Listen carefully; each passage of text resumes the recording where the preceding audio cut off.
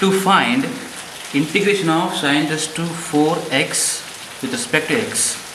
We have a formula in is equal to minus sine to n minus 1 x into cos x divided by n plus n minus 1 by n into in minus 2 okay.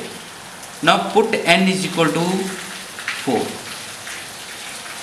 n is equal to 4 that means i4 is equal to minus sine raised to n minus 1 means 4 minus 1 is sine cube x into cos x divided by n. N means 4 plus n minus 1 is 3 by 4 i 4 minus 2 is a i2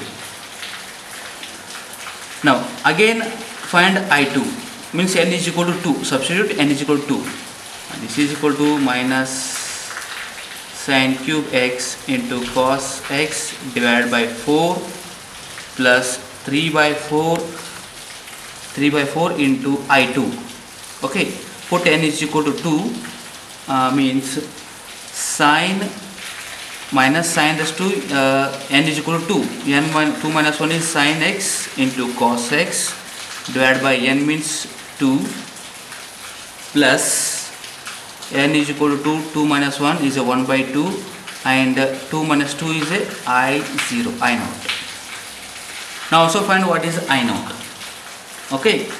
Now i 0 is equal to n is equal to 0 so n is equal to 0 so here this is n is equal to 0 means integration of sine raised to 0 with respect to x.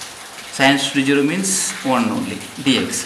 Integration of 1 is is x. Now put i naught is equal to x.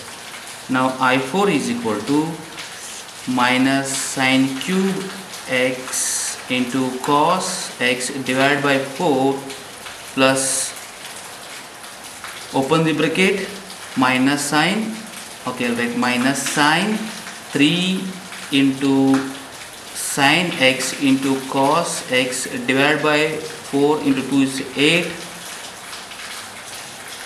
again plus i naught is a x means x by 2 and multiply 3x by 8 plus integral constant. This is required solution